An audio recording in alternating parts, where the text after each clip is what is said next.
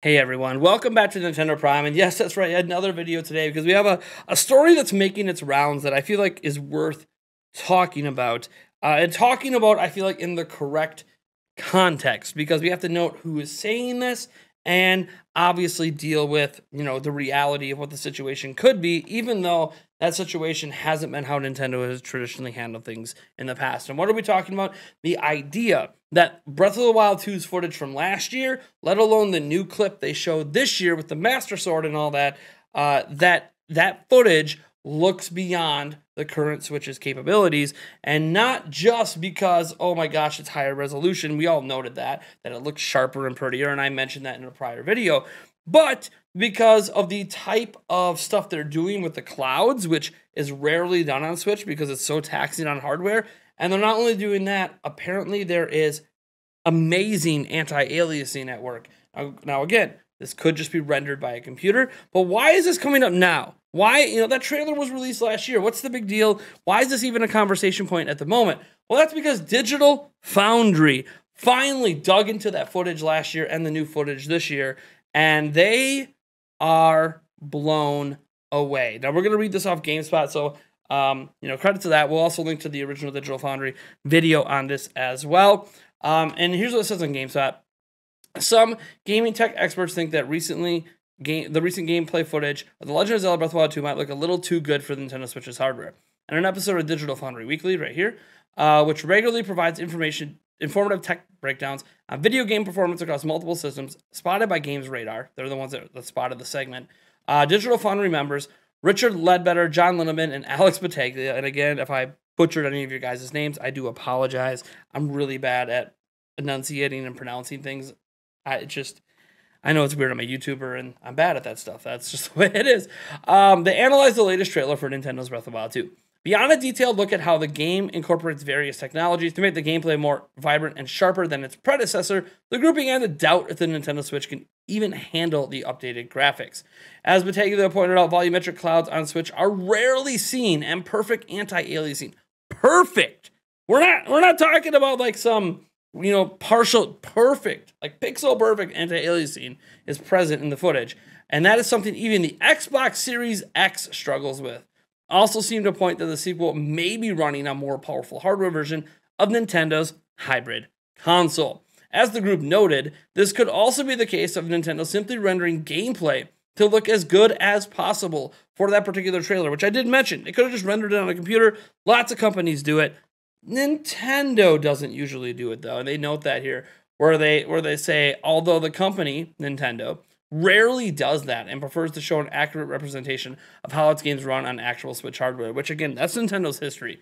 They tend to not tease you with something that's unrealistic to what the final product's going to be, at least in terms of visual quality. It wouldn't surprise me in terms of what the game is all about. I generally think that since they are delaying it now, I think that this is going to be the equivalent to what we saw with Breath of the Wild, where it launches on the old and also on the new in terms of hardware. Is referencing uh, the simultaneous release on Wii U and Switch with the original Breath of the Wild. And then it goes into these are the current um, models of Switch, the hybrids, uh, the OLED, et cetera, et cetera, et cetera. Um, a number of reports concerning the existence of the console in terms of the Switch Pro have existed over the years, including one report that has it to be revealed at last year's E3. So I guess the idea is that Switch Pro could be coming out with this game next year, or maybe the Switch Pro comes out this holiday and the game comes out for it later. Obviously, the entire speculation here is that this game looks too good, has volumetric clouds, which just are extremely taxing, and the Switch has not been able to handle it very well in games that have attempted to do it in the past, and somehow is perfect anti-aliasing and they actually note, which isn't here, but has been noted by many others, that it was running at a higher resolution than the original Breath of the Wild, which is a little bit insane to think about when uh, you're adding perfect anti-aliasing and volumetric clouds, which the original Breath of the Wild doesn't have. Um, quite interesting indeed.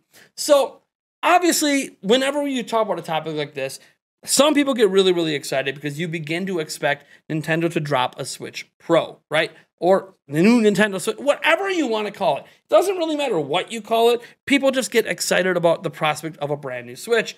And obviously, then you have all these people that will be upset about this because they're so tired of hearing that a Switch Pro is coming.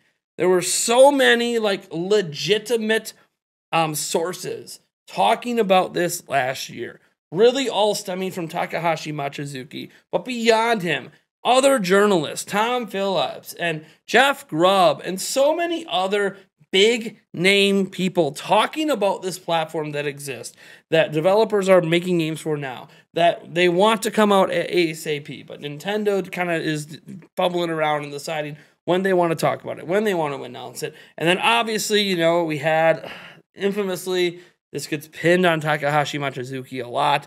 It wasn't really him. He did say that developers were pressuring Nintendo to unveil it around E3 last year. He didn't say that it would be unveiled. But Nate the hate, Nate Drake, you guys know the man, the myth, the legend, the guy with the podcast with Modern Vintage Gamer. He's part of Spawncast as well. He's the one that put out there that they were about to imminently announce it right before E3. Um, and then literally within 24 hours was trying to backtrack what he said. So, you know, take that for what it is.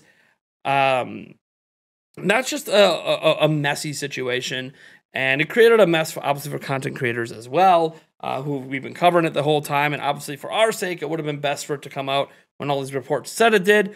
Uh, but you know, we're just the bearers of information and then providing our opinions and thoughts on it. We're not the sources. I do not provide direct source information because I don't have direct sources. All of my stuff is secondhand information that I'm bringing to you guys, third hand, etc., that I am bringing to you guys. So in this case, this is just, you know, looking at that footage of Zelda and kind of coming to the conclusion, huh, you know what? There's not a game on Switch doing that. You know what?